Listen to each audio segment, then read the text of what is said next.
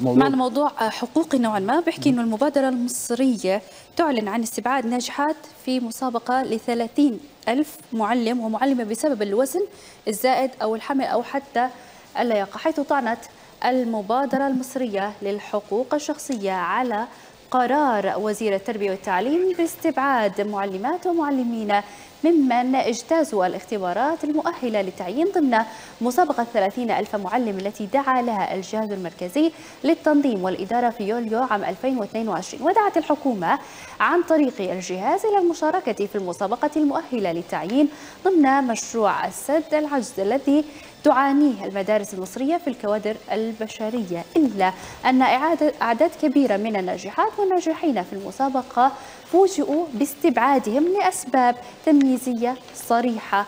بالمخالفة لنصوص الدستور والقانون تتعلق بالوزن الزائد والطول والحمل والولادة الحديثة أو حتى عدم اجتياز تدريبات عقدت للياقة الطبية والبدنية والذهنية.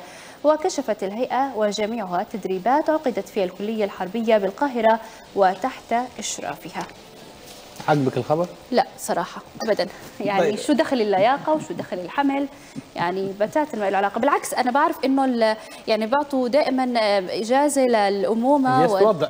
يعني. إجازة وضع واجازه رضاعة المفروض طب أنا هقول حاجة بس الموضوع يعني المسابقه دي نزلت السنة اللي فاتت شهر يوليو يعني بنتكلم تقريبا بقالنا يعني سنة ونص سنة وخمس شهور والمشكلة ما اتحلتش. وعمالين نتكلم بقى وليتوا نعجن في الموضوع. هم عملتوا مسابقة. أنتوا هتطلعوا عين الناس عشان عملتوا مسابقة ولسه ما عينتهمش. يعني لو قلت انت مسابقة وعايزين 30000 رحنا سقفنا وقلنا زي الفل تمام انك انت هتعين الناس اللي مش لاقية تاكل.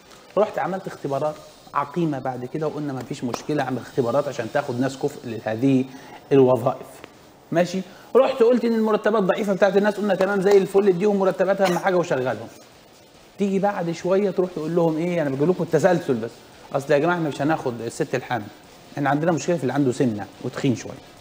فإحنا مش مش مش هينفع ناخد الناس دي. ودلوقتي لسه ال- ال- المبادرة دي أو الحملة دي بتطالب يا جماعة طب يعني شوفوا لهم حل. هل إحنا داخلين على تعديل وزاري حسب ما بتقول التصريحات متضاربة طبعا من هنا وهنا. من ذات مصر زي ما قلت لحضراتكم من الشرق الأوسط. وفي الكلام وفي كلام إنه من ضمن الناس اللي هتتشال في التعديل الوزاري رضا حجازي اللي هو وزير التربية والتعليم. يعني الوزير هيتشال والمشكلة بتاعه المسابقة اللي عملها الوزير ما اتحلتش. لسه قاعدة. هيجي لنا وزير تاني يتكلم بقى على الناس الطويلة والناس القصيرة. فيا جماعة مش هينفع إحنا لازم نشوف حل للموضوع. طب ما تلغوها. ما ما تلغوها المسابقة. آه والله يعني حل كويس. إلغوها المسابقة. ده اللي إحنا عمالين نحذب الناس ونوديهم كده ونجيبهم كده وخلاص آه، نفتح وشهم. إيه هو هتدي له كام؟ أنت هتدي له مثلا 500 هتدي له 1000 هتدي له 1000 ونص هتدي له 2000 كام كام كام ممكن يا أستاذ؟ ممكن المرتبات بتاعت المدرسين كام؟ قول لي كده في ودني لو سمحت. مرتبات المدرس المبتدئ كام مثلا؟ هتدي له كام؟ كام كام يا أستاذ حسني مرتبات بتاعت المدرسين المبتدئين؟ 1000 1000 ونص أو 2000 مثلا؟ كام هيعملوا ال 2000 هيأكلوه ويشربوه بكام؟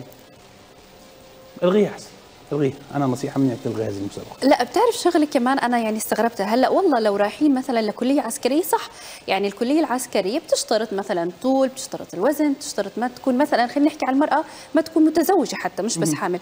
بس أنا اللي بدي أسأله مثلا هلأ أنا كمعلمة شو دخل فكري وعقلي وثقافتي والمواد يعني اللي راح أدرسها للطالب في إنه أنا مثلا سمينة أو ضعيفة أو حتى حامل؟ هذا ابدا ما بيأثر على الطالب ولا على مستواه الذهني اختبارات ياما كليات اختبارات التربية أصلا. قبل قبل ما واحد يلتحق بكلية التربية بتاعت اللي بيطلع المدرسين في اختبارات قدرات معينة. اتعملت لهم خلاص خلصت وتخرج من الجامعة. يا تعينوا يا تسيبوا ما تعينوش. لكن ما تقعدش بقى تتكرهوا في عيشته في حياته. يعني مثلا تفتح وشه على الفاضي زي ما بقولوا طبعا معنا كمان خبر آخر. دانت حملة أوقفوا عقوبة الإعدام في مصر.